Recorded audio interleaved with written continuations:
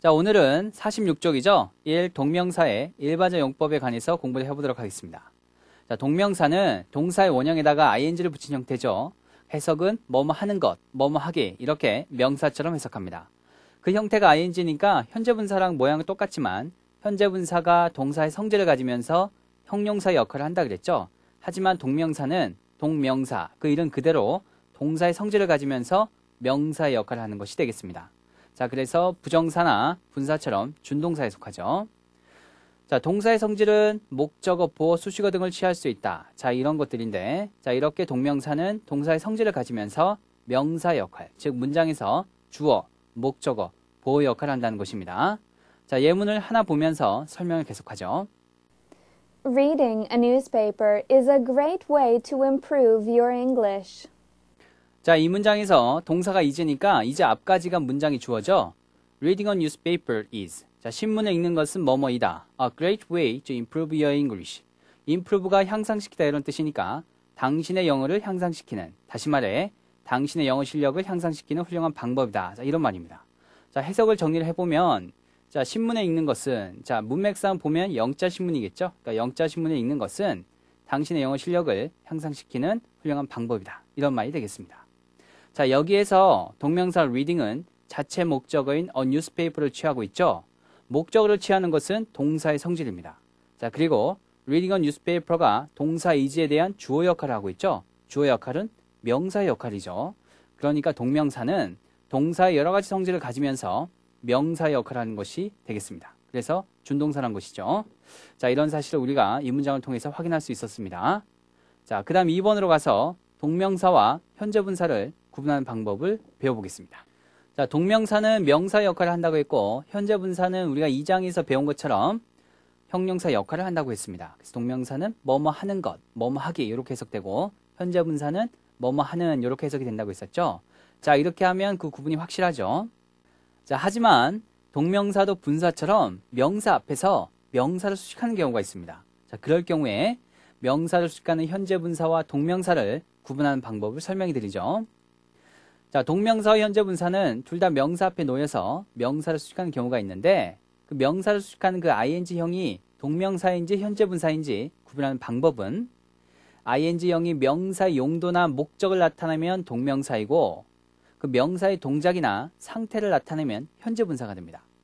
자, 그리고 동명사 플러스 명사에서는 동명사를 더 강하게 읽고 현재 분사 플러스 명사에서는 명사를 더 강하게 읽습니다. 자, 그럼 구체적인 예를 보면서 설명하죠. 자, 첫 번째 예를 보겠습니다. 1. A sleeping baby. A baby who is sleeping. 2. A sleeping car. A car used for sleeping. 자, 먼저 1번의 예문을 보면 a sleeping baby. 자, 잠자고 있는 아이 이런 뜻이죠. 자, 그래서 관계대명사 who를 사용해서 a baby who is sleeping 이렇게 풀었을 수가 있습니다. 자, 이때 sleeping은 baby의 상태를 나타내는 현재 분사로 쓰인 것이죠. 그래서 읽을 때는 명사인 baby의 강세를 두어서 읽어야 됩니다. 그래서 a sleeping baby 이런 식으로 읽으면 되겠죠. 자, 그 다음에 2번에 a sleeping car 이것을 보면 잠자기 위한 차, 즉 침대차라는 의미니까 a car used for sleeping, 즉 잠자는데 사용되는 차 이런 말이 되겠습니다. 여기 슬리핑은 카의 용도를 나타내니까 동명사가 되는 것입니다. 자, 동명사에 강세가 있으니까 읽을 때는 슬리핑을 강하게 읽으면 되겠습니다. 자, 다음 문장을 보시죠. 3. A smoking chimney. A chimney which is smoking. 4. A smoking room. A room used for smoking. 자, 3번에 a smoking chimney 이렇게 하면 연기를 내뿜고 있는 굴뚝 이런 의미로 a chimney which is smoking. 자, 이런 말이죠. 여기 smoking은 침니의 상태를 나타내고 있으니까 현재 분사가 됩니다. 자, 다음 4번에서 보면 a smoking room 이렇게 하면 담배를 피기 위한 방, 즉 흡연실이라는 의미니까 a room used for smoking. 자, 이런 말로 표현해 볼 수가 있죠. 여기 smoking은 룸의 용도를 나타내니까 동명사가 되겠습니다. 자, 이제 명사 앞에 ing가 나올 경우에 그 ing가 동명사인지 현재 분사인지 구분하는 방법을 확실히 알았을 겁니다. 자, 그럼 이제 기본 예문 1번부터 차례차례 동명사 용법을 살펴보도록 하겠습니다. Traveling by car is a good way to see the country. 자, 일단 by car의 동그라미 쳐보세요. by 플러스 교통수단 하면 뭐뭐로 뭐뭐를 타고서 이런 뜻입니다. 관사를 중간에 쓰지 않습니다. Car는 자동차로 자동차를 타고서 이런 의미가 되죠. 자, 그러면 걸어서는 어떻게 할까요? by foot이 아니라 on foot을 씁니다. 자, 요걸 꼭 기억을 해야겠습니다. Traveling by car, 자동차로 여행하는 것은 is a good way to see the country. 시골을 구경하는 좋은 방법이다. 자, 이런 말이죠. traveling 하면 동사 travel에 ing가 붙은 것입니다. traveling은 문장의 주어니까 명사의 역할을 하고 있죠. 그리고 부사구 by car가 자동차로 여행하는 것 이런 식으로 traveling을 수식하고 있습니다. 자 이렇게 부사나 부사구에 의해 수식을 받는 것은 동사의 성질이죠. 따라서 traveling은 동사의 성질을 가지면서 동시에 명사의 역할을 하는 동명사가 되겠습니다. 자 다음 1번에 동그라미 2번을 보시죠. He started shouting bitterly. He started. 그는 시작했다. 자, 뭐 하기 시작했습니까? Shouting bitterly. 자, bitterly 하면 비통하게, 몹시 이런 뜻이니까 그는 비통하게 외치기 시작했다. 이런 말이 되겠습니다.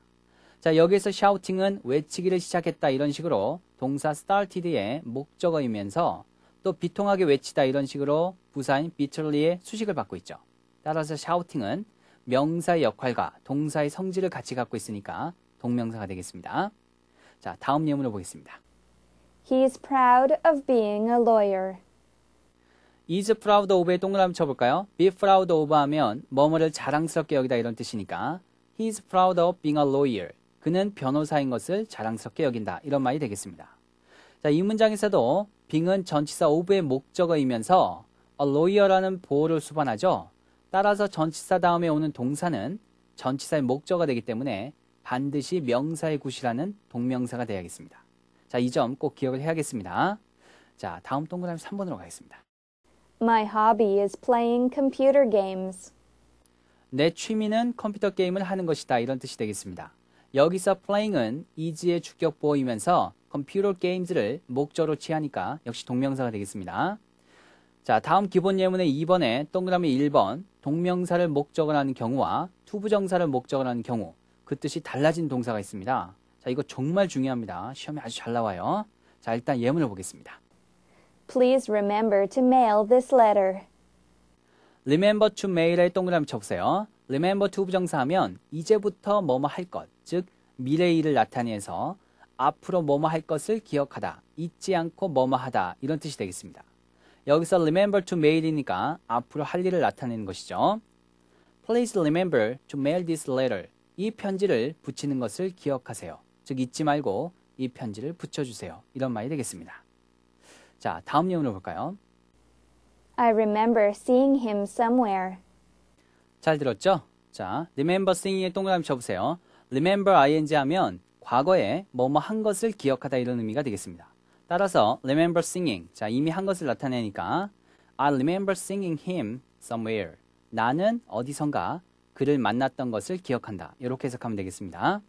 자, 그럼 아래 설명 예문에 2번의 동그라미 1번으로 가겠습니다. I forgot to post the letter. 자, forgot to post 일단 동그라미 쳐보세요. forget 또 remember와 같이 forget to 부정사가 되면 이제부터 할 것, 즉 미래의 일을 나타내서 앞으로 뭐뭐 할 것을 있다 이런 의미가 되겠습니다.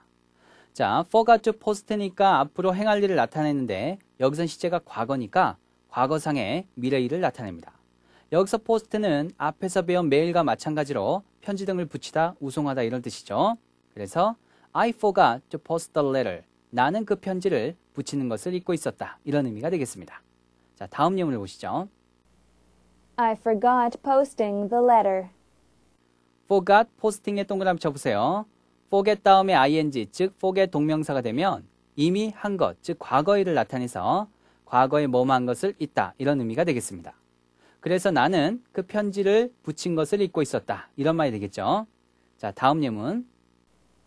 I stopped to smoke. stopped to smoke에 동그라미 쳐보세요. stop to 부정사 하면 to 부정사 하기 위해서 멈추다 이런 의미가 되겠습니다. 여기서 stop은 자동사가 되겠어요. 그리고 to smoke는 stopped의 목적어가 아니라 뭐뭐 하기 위해서 즉 목적의 의미를 나타내는 부사구가 되겠습니다. 자, 우리가 to 부정사의 목적의 부사적 용법 기억하시죠? 예, 바로 그것입니다. 자, 그래서 일단 해석을 해보면 나는 담배를 피우기 위해 멈춰 섰다. 이런 말이 되겠습니다. 자, 바로 아래 예문을 또 보시죠. I stopped smoking. 자, stopped smoking이 동그라미 쳐보세요. stop ing, 즉 stop 다음에 동명사가 나오면 뭐뭐 하는 것을 멈추다, 그만두다 이런 의미니까 I stopped smoking. 나는 담배 피우는 것을 그만두었다. 다시 말해, 나는 담배를 끊었다. 이런 말이 됩니다. 여기서 동명사 smoking은 타동사인 stopped의 목적어가 되는 것입니다. 자, 여기까지가 본책에 나와 있는 정도인데요. 자, 이것 말고도 같이 알아두어야 할 동사가 regret, 그리고 try가 있습니다. 자, 자습서에 적절한 예문이 나와 있으니까 그 예문들을 통해서 더 자세히 살펴보도록 하겠습니다. I regret to say this. regret to say에 동그라미 쳐보세요. regret 다음에 투부정사가 오면 유감스럽게도 뭐뭐하지 않을 수가 없다 이런 뜻입니다. 그래서 해석은 나는 유감스럽게도 이것을 말하지 않을 수가 없다. 다시 말해 유감스럽게도 이런 말씀을 드려야겠습니다. 이렇게 해석하면 되겠어요. 자, 그럼 regret 다음에 동명사 ing가 나오면 어떤 의미가 되는지 알아보죠. I regret spending so much money. regret spending에 동그라미 치면 되겠죠? regret 다음에 ing가 나오면 과거에 뭐뭐 한 것을 후회하다 이런 의미가 됩니다. 그래서 spend는 돈이나 시간 등을 쓰다 소비하다 이런 뜻이니까 자 해석을 해보면 나는 그렇게 많은 돈을 쓴 것을 후회한다 이런 말이 되겠어요. 여기서 spending은 과거에 이미 행한 일을 나타내는 것입니다. 자 다음에 try란 동사를 보죠. He tried to kick the ball. 자, 일단 tried to kick에 동그라미 쳐야겠죠? try to 부정사는 뭐뭐 하려고 노력하다, 뭐뭐 하려고 하다 이런 뜻입니다. kick은 차다 이런 뜻이니까 그는 그 공을 차려고 했다 이런 말입니다. Try to 부정사는 뭐뭐 하려고 노력하다 이런 뜻이기 때문에 그 순간에 to 부정사의 행동을 실제로 했는지 안 했는지는 알 수 없습니다. 자, 그럼 try 다음에 동명사가 나오는 경우를 보죠. He tried kicking the ball. tried kicking에 동그라미 쳐야겠죠? try ing는 시험 삼아 뭐뭐 해보다 이런 뜻입니다. 그래서 해석은 그는 그 공을 차보았다. 이런 식으로 하면 되겠죠? try to 부정사는 그 행동을 했는지 안 했는지 알 수 없지만 try ing, 즉 try 다음에 동명사가 나오면 실제로 동명사의 행동을 해보는 것입니다.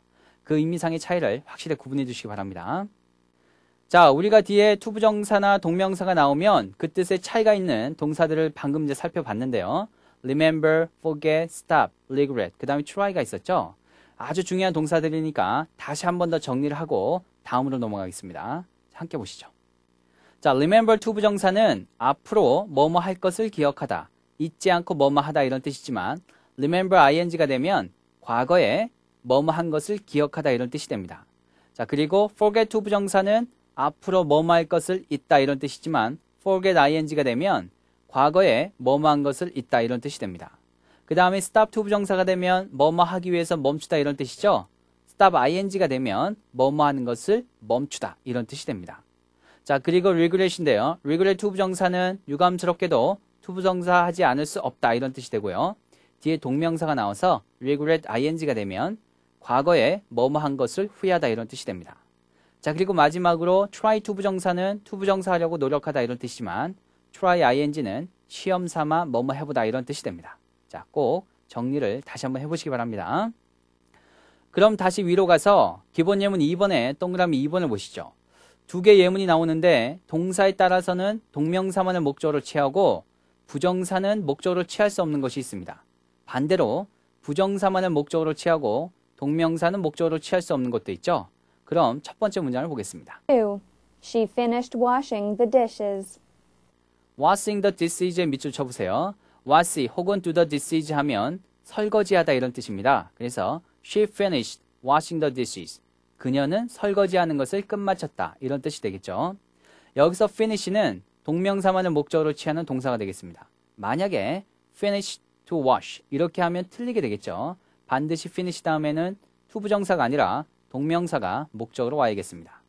자, 그럼 다음으로 넘어가기 전에 책에 나와 있는 것과 자습서에 정리된 내용을 통합해서 부정사가 아닌 동명사를 목적으로 취하는 동사들을 정리하고 가겠습니다. 자, 함께 보시죠. Mind. Enjoy. Give up. Quit. Avoid. Finish. Stop. Admit. Escape. Practice. Consider. Deny. postpone, put off, dislike. 자, 그럼 뜻을 하나씩 살펴보는데 뒤에 투부정사가 아니라 동명사 ing가 나오는 것을 확실히 하기 위해서 뒤에 ing를 붙여서 설명하겠습니다. 자, 그러니까 여러분이 외울 때도 뒤에 ing를 붙여서 그냥 외워두시기 바랍니다. Mind ing는 뭐뭇을 마음 쓰다, 꺼리다 이런 뜻이 돼요. enjoy ing는 뭐뭐를 즐기다. give up ing는 뭐뭐를 끊다, 그만두다, 포기하다 이런 뜻이 되겠죠. quit ing는 뭐뭐를 그만두다. avoid ing는 뭐뭐를 회피하다, 피하다 이런 뜻이 되고 finish ing는 뭐뭐를 끝마치다. stop ing는 뭐뭐를 멈추다 이런 뜻이 됩니다. admit ing는 뭐뭇을 인정하다 이런 뜻이 되겠죠. Escape ing는 뭐뭇을 벗어나다, 모면하다. practice ing는 뭐뭐를 연습하다 이런 뜻이 됩니다. consider ing는 뭐뭐를 고려하다, 생각하다. deny ing는 뭐뭐를 부인하다, 부정하다 이런 뜻이 됩니다. 그 다음에 postpone, 그 다음에 put off ing는 뜻이 같습니다. 뭐뭐를 연기하다, 뒤로 미루다 이런 뜻이 되고요. 그 다음에 dislike ing는 뭐뭐를 싫어하다 이런 뜻이 되겠습니다. 방금 정리했던 단어들이 들어간 모든 예문을 살펴보면 좋겠지만 시간 관계상 자습서에 나와 있는 몇 가지 예문만 살펴보겠습니다. I quit drinking and smoking. I gave up drinking and smoking. 자, 일단 해석을 해보면 나는 술과 담배를 끊었다 이런 말이죠. 자, 이렇게 quit이나 give up은 부정사가 아닌 동명사를 목적으로 취합니다. 자, 그 다음 예문을 보시죠. He avoided answering my question. 이번엔 피하다, 회피하다, avoid가 나왔죠? 그럼 해석이 그는 내 질문에 답하기를 회피했다. 이렇게 하면 되겠습니다. 뒤에 answering이라는 동명사가 나온 거 다시 한번 확인해 보시기 바랍니다. 다음. We postponed buying a new car. We put off buying a new car. postpone이나 put off는 모두 연기하다, 미루다 이런 뜻이라 그랬습니다. 우리는 새 차를 사는 것을 연기했다 이런 말이죠. postpone, put off의 목적으로 투부정사가 아닌 동명사가 온다는 거 꼭 한번 더 확인해 보시기 바랍니다. 자, 그래서 buying이 나온 것이죠. 자, 이제 다시 기본 예문 2번에 동그라미 2번에 두 번째 예문이 있죠. 그래서 I am hoping으로 시작하는 문장을 보겠습니다. I am hoping to see the concert. hoping to see의 동그라미 쳐보세요. hope to 부정사하면 뭐뭐 하는 것을 바라다 이런 의미죠. 그래서 해석은 나는 그 연주회를 보는 것을 바라고 있다. 이런 식으로 하면 되겠습니다. Finish와는 달리 hope는 to 부정사만을 목적으로 취하는 동사가 되겠습니다.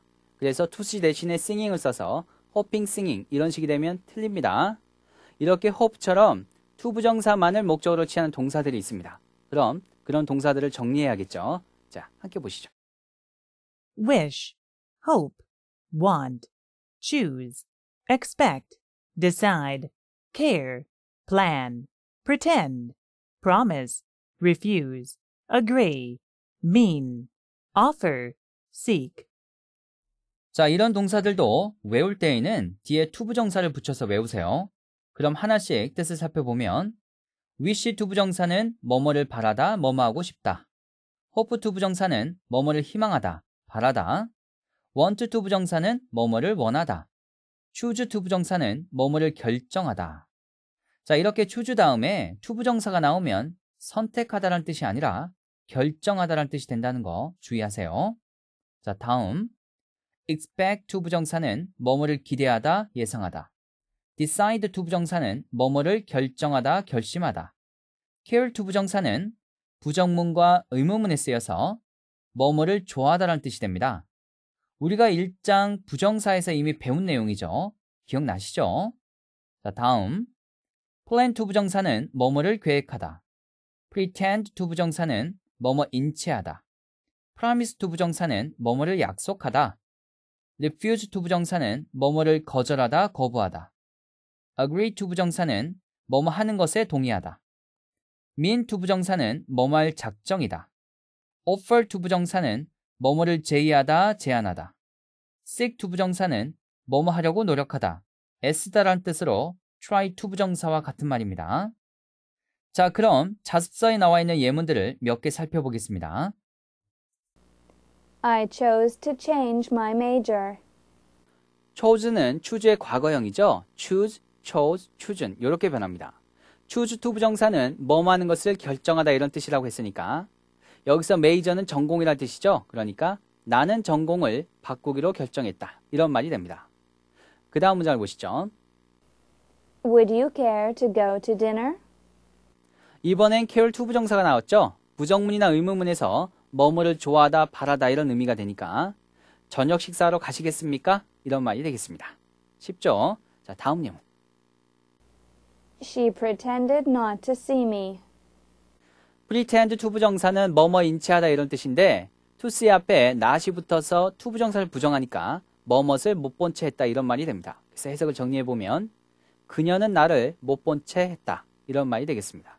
자, 아주 간단하죠? 자, 다음 예문. He refused to discuss the problem. refuse to 부정사가 무슨 뜻이라 그랬습니까? 뭐뭐 하기를 거절하다, 거부하다 이런 뜻이었죠. 그리고 discuss는 뭐뭐에 대해서 토의하다 이런 뜻이니까 그는 그 문제에 대해 토의하는 것을 거부했다 이런 말이 됩니다.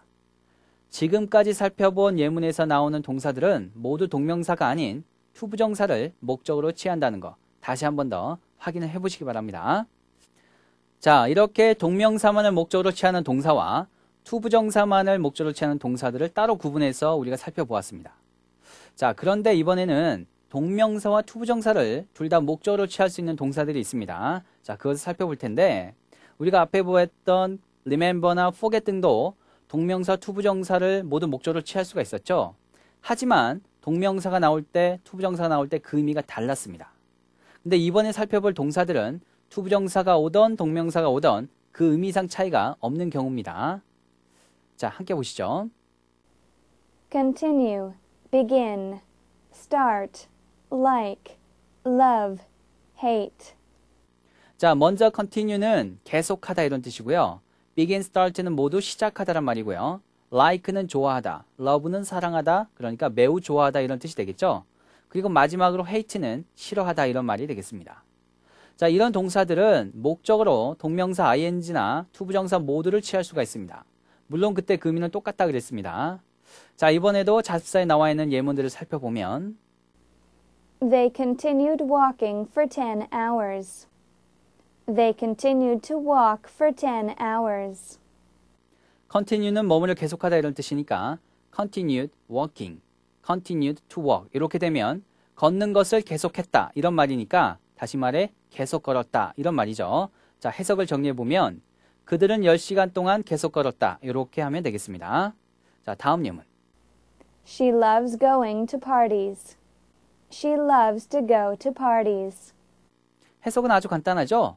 그녀는 파티에 가는 것을 매우 좋아한다 이런 말입니다. 자, parties 이렇게 복수가 된 것은 여러 파티에 가는 것을 좋아한단 말이니까 복수가 된 것입니다. 이렇게 continue나 love는 뒤에 to부정사가 오던 동명사가 오던 그 의미상의 차이는 없습니다. 자, 이렇게 동명사나 to부정사를 목적어로 둘 다 취하면서도 그 의미상 차이가 없는 동사들을 살펴보았습니다. 자, 그런데 아주 중요한 것이 하나 있는데 좋아하다면 like죠. like는 동명사 to부정사를 모두 목적어로 취할 수가 있는데 반대말에 해당되는 dislike는 동명사만을 목적어로 취할 수가 있습니다. 자, 이 둘을 꼭 구분하시기 바랍니다. 시험에 아주 잘 나와요. 자, 그럼 기본 예문 3번으로 가겠습니다. 동명사는 시제를 나타내기 위해서 단순 동명사를 쓰거나 완료 동명사를 쓰는데 동명사 자체로는 특정한 때를 나타내지 못하고 반드시 술부동사의 시제와 관련되어서만 시제를 나타낼 수가 있습니다. 이러한 특성은 다른 준동사인 부정사나 분사도 마찬가지죠. 먼저 단순 동명사는 동사 원형에다가 ing를 붙인 형태로 술부동사와 같은 시제 혹은 그보다 나중 시제를 나타내고요. 완료 동명사는 having pp의 형태로 술부동사의 시제보다 이전 시제를 나타냅니다. 그럼 기본 예문 3번에 동그라미 1번 예문을 함께 보시죠. He is proud of being successful. 자, 일단 is proud of being에 동그라미 쳐보세요. be proud of ing 하면 뭐뭇을 자랑으로 여기다 이런 뜻이죠. 그래서 be proud that 절 이렇게 바꿨을 수도 있습니다. successful 하면 성공한 이런 뜻이니까 he is proud of being successful. 그는 성공한 것을 자랑으로 여기고 있다. 이런 말이 되겠습니다. 자, 여기서 being은 단순 동명사로서 술부동사 is와 같은 현재 시제를 나타내죠. 자, 이 문장을 that절을 사용해서 복문으로 바꾸면 아래 설명 예문에 3번의 동그라미 1번에 나온 것처럼 바뀝니다. 자, 일단 들어보죠. He is proud that he is successful. 자, 방금 전에는 is proud로 현재 시제였죠. 자, 이제 기본 예문 3번에 동그라미 1번의 두 번째 예문을 보시면 is가 was로 과거로 변했습니다. 자, 그 예문을 일단 살펴보겠습니다. He was proud of being successful. 자, 과거니까 그는 성공한 것을 자랑으로 여기고 있었다. 자, 이렇게 되죠. 여기 being이 단순 동명사니까 시제는 술부동사 was와 일치해서 과거 시제가 되겠죠. 따라서 이 문장을 복문으로 바꾸면 He was proud that he was successful. 주절의 was와 대절의 was가 모두 과거 시제인 거 꼭 다시 한 번 더 확인해 보시기 바랍니다. 자, 그럼 다음 예문을 보죠. He is sure of winning the tennis match. is sure of winning에 동그라미 쳐볼까요? be sure of ing 하면 뭐뭐를 확신하다 이런 뜻입니다. 자, 그래서 be sure 대절 이런 식으로 바꿔 쓸 수 있습니다. 자, 그리고 매치에 동그라미 쳐볼까요? 매치는 여기서는 명사로 시합, 경기란 뜻입니다. 뭐 매치는 성량이란 뜻도 있고 뭐 동사로 어울리다 이런 뜻도 있습니다. 자, 참고로 알아두시기 바랍니다. 자, 그럼 문장을 해석을 해보면 He is sure of 그는 뭐뭇을 확신한다. Winning the tennis match 그는 그 테니스 시합에서 승리할 것을 확신한다 이런 말이죠. 여기서 winning은 단순 동명사로 시제는 술부동사 is와 같은 현재가 아니라 의미상 미래의 것을 확신하는 것이니까 나중 시제를 나타내고 있습니다. 그래서 나중 시제인 미래의 시제를 나타내고 있어요. 그래서 of 이하를 절로 바꿔보면 He is sure that he will win the tennis match. 이처럼 대절의 시제가 will win 이렇게 미래가 되는 거 이해가 가실 겁니다. 자 이렇게 단순 동명사는 술부동사와 같은 시제를 나타내거나 나중 시제를 나타냅니다. 자 다음에 기본 예문 3번에 동그라미 2번으로 가죠. I regret having been rude to her. 자 이번엔 having been이라는 완료 동명사가 나오네요. regret은 타동사로 후회하다, rude는 무례한 이런 뜻이니까 나는 그녀에게 무례했던 것을 후회한다 이런 말이 되겠습니다. 자 여기서 having been은 having 플러스 pp니까 완료 동명사죠. 완료 동명사는 술부 동사보다 앞선 시제를 나타낸다고 했습니다. 따라서 완료 동명사 having been은 술부 동사 regret, 즉 현재니까 과거나 현재 완료를 나타내죠. 그래서 having 이하를 절로 나타내면 I regret that I was rude to her. I regret that I have been rude to her. 그래서 I was rude, I have been 이런 식으로 과거나 현재 완료가 나왔습니다. 다시 한번 확인해 보시기 바랍니다. 자, 다음 예문은 동사 regret이 현재가 아니라 regretted 이렇게 과거가 되는 경우가 됩니다. 자, 일단 들어보면 He regretted having told me her secret. 자, regretted 이 과거니까 그는 나에게 그녀의 비밀을 말했던 것을 후회했다 이런 식으로 해석이 되죠. 이 문장에서 regretted 즉 과거니까 완료 동명사 having told는 시제가 과거보다 한 시제 앞선 과거 완료가 되겠습니다. 자, 이것을 자, 절로 바꿔보면 확실해지죠. He regretted that he had told me her secret. 과거 완료, 즉 had told가 나온 것을 꼭 다시 한 번 더 확인을 해야겠습니다. 4번에서는 동명사의 의미상의 주어가 나오는데 동명사도 to부정사나 분사와 마찬가지로 동사의 성질을 지닌 준동사니까 그 동작이나 상태의 주체가 되는 의미상의 주어가 필요하겠죠. 자, 책에서는 의미상의 주어가 문장의 주어와 같을 경우와 다를 경우로 나뉘어졌지만 저는 조금 다르게 설명합니다. 자, 함께 보시죠. 크게 의미상의 주어를 생략하는 경우와 명시하는 경우가 있습니다. 의미상의 주어가 문장의 주어와 일치하거나 문장의 목적어와 일치하거나 혹은 일반인이 의미상의 주어일 경우에는 동명사 의미상의 주어를 따로 명시하지 않고 생략합니다. 하지만 그럴 경우가 아니라면 동명사 의미상의 주어를 명시해 주는데요. 이 경우에 인칭 대명사는 동명사 의미상의 주어로 소유격, 목적격 둘 다 가능합니다. 하지만 명사의 경우에 생물을 나타내는 경우와 무생물을 나타내는 경우가 있는데 먼저 생물을 나타내는 명사의 경우에는 소유격, 목적격 둘 다 가능하긴 하지만 현대 영어에서는 목적격만을 쓰는 경향이 있습니다. 자, 참고하시기 바라고요.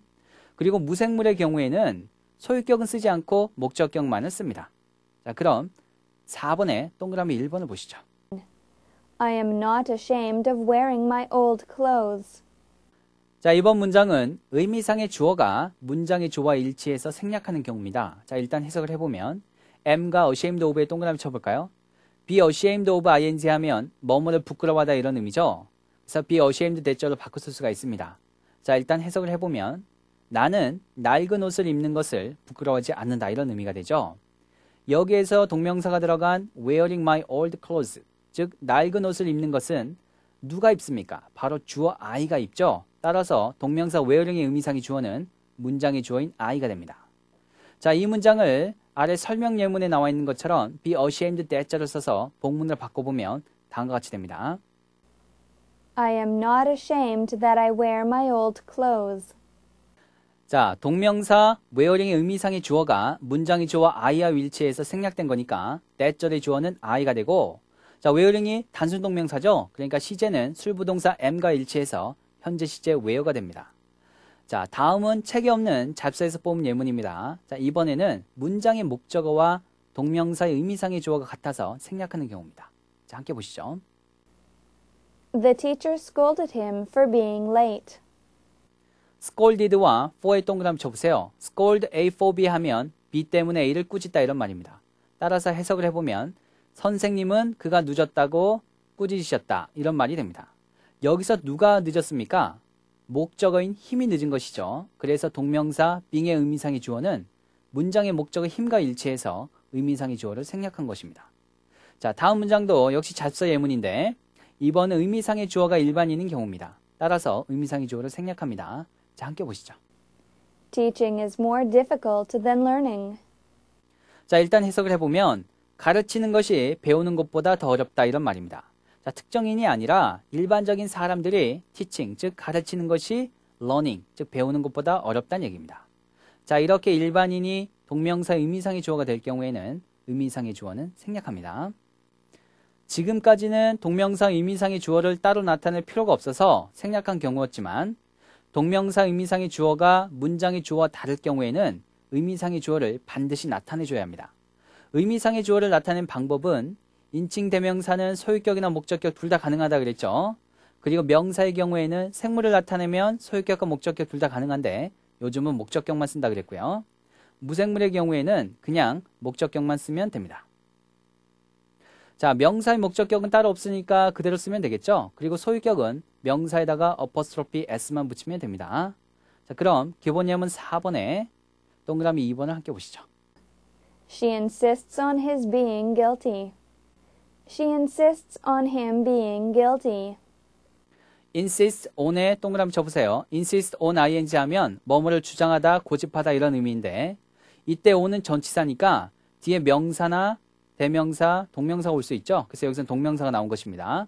guilty는 유죄 이런 의미의 형용사니까 일단 해석을 해보면 그녀는 그가 유죄라고 주장한다 이런 말입니다. 여기서 being은 insist on의 목적으로 동명사죠.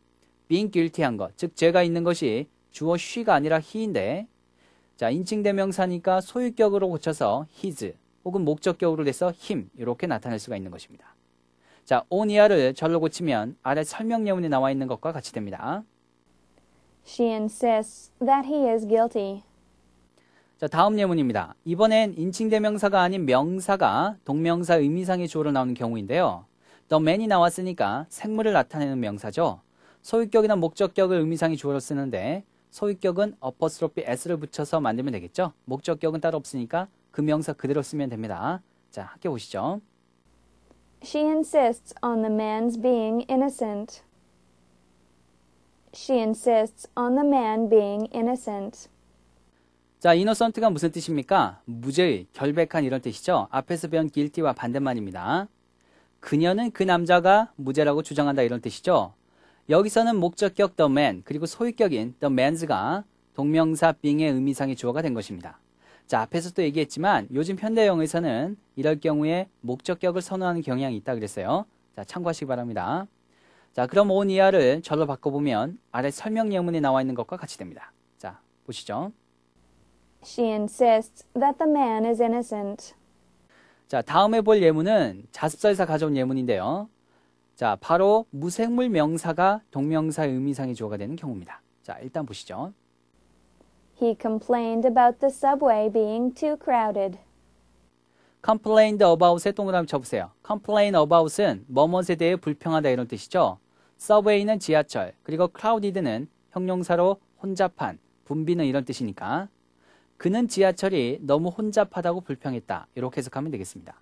자, 여기서 혼잡한 것은 the subway니까 동명사 being의 의미상의 주어는 the subway가 되는 것입니다. 지하철은 무생문이죠. 그래서 목적격인 the subway만 의미상의 주어로 쓸 수 있는 것입니다. 만약에 소유격인 the subways 이렇게 쓰면 안 됩니다. 주의하시기 바랍니다. 지금까지 동명사의 의미상의 주어에 대해서 설명을 했는데 생각보다 약간 복잡하죠. 하지만 다시 한번 복습을 하면서 정리를 해보면 아주 간단하게 이해가 될 겁니다. 자, 다음 예문으로 넘어가기 전에 동명사 의미상의 주어를 쓸 때 한 가지 주의할 점이 있는데 자, 그것을 설명하고 기본 예문 5번으로 가겠습니다. 자, 함께 보시죠. 자, 우리가 앞에서 동명사 의미상의 주어로 인칭대명사는 소유격, 목적격 둘 다 가능하다고 했었죠. 하지만 동명사가 문장의 주어가 되는 경우에 인칭대명사라도 의미상의 주어는 소유격만 씁니다. 자, 그럼 예문을 보죠. His being late gave us a lot of trouble.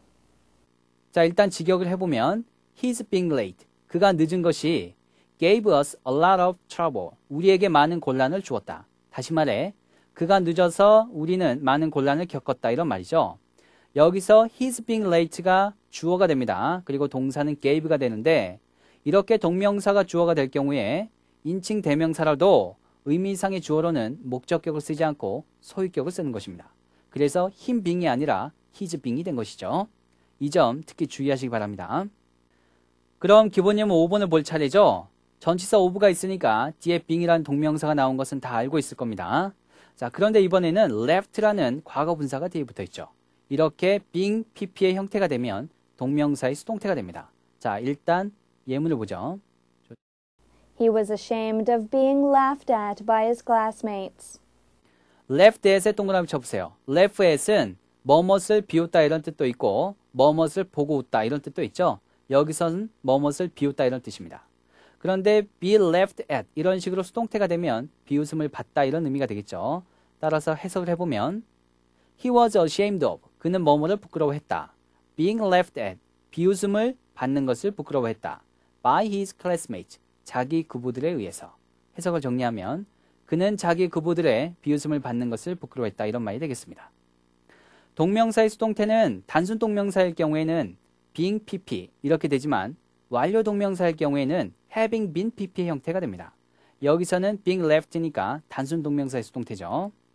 of 이하를 때절로 고쳐보면 아래 설명 예문과 같이 됩니다. He was ashamed that he was laughed at by his classmates.